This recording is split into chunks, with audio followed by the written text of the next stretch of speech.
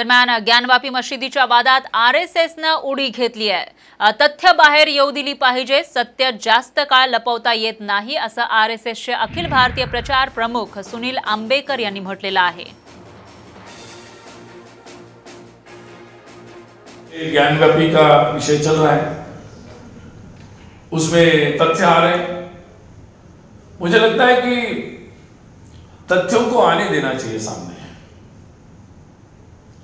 कि वैसे भी तथ्य जो होते हैं, वो सत्य जो होता है, वो अपनी राह तो खोजता ही है। आप कितने दिन तक किसी चीज़ को दबा के रख सकते हैं।